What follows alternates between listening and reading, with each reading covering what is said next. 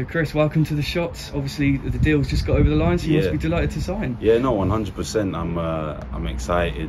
Um, it's been something that has been going on for a few days now.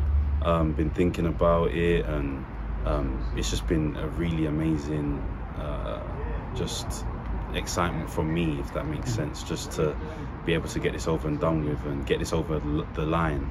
Um, yeah, something I'm really looking forward to, to play in front of the fans here, and yeah, the, the stadium looks amazing, so I can't wait. Now, obviously, you're a very tall guy, Mm. but um, and you're a centre half. So, what, what what can you bring to that to our back line? Yeah, I mean, obviously, I love to defend. That's most important for me. Clean sheets is are they're everything for me. I love defending, love keeping clean sheets. Um, yeah, like a, a one 0 win for me is unreal. Um, and yeah, I'm strong, powerful, quick, um, comfortable on the ball as well. And yeah, hopefully I can chip in with a few goals too. So yeah, I'm gonna I'm gonna try and deliver my, my best performances in an Aldershot shirt for, for sure.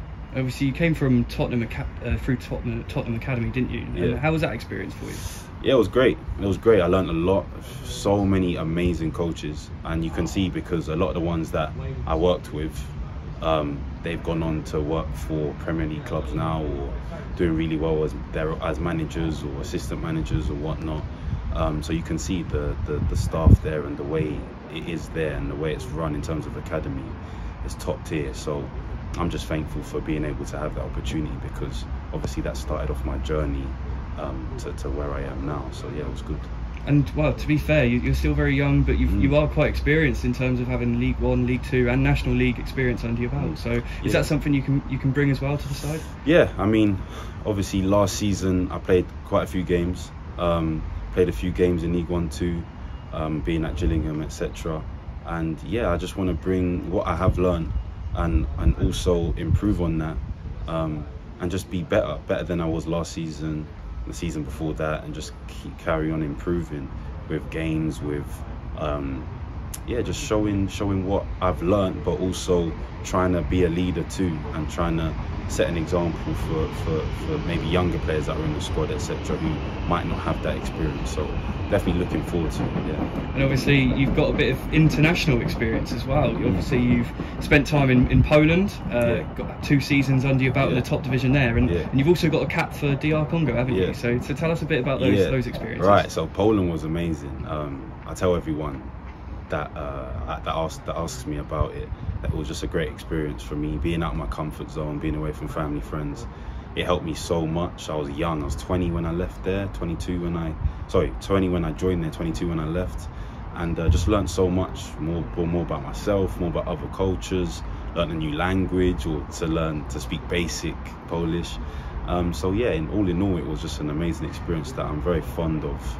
Um, uh, in terms of memories, got very fond memories of it, and obviously Congo, playing for DR Congo, playing for my country, um, is yeah, it was the one of the biggest blessings and biggest achievements that I've that I've had so far in my career, if not the biggest, because you know to play for your country, represent them, um, is something really special, and I was able to share that with my older brother as well. So being there with him, um, yeah, it was it was definitely an amazing experience, and hopefully get more to come moving forward.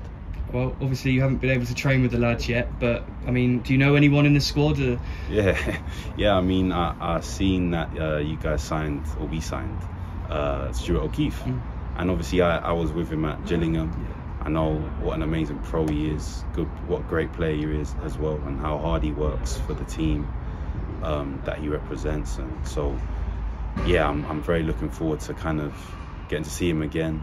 Um, and obviously, there's guys that I've played against, like Jack Barham last season. I had banter with him last season because he always scored against me. So it's good that we're on the same team now. Um, so yeah, no, I'm uh, definitely looking forward to meeting the rest of the lads and kind of having that banter with Jack again and seeing Stuart again for sure.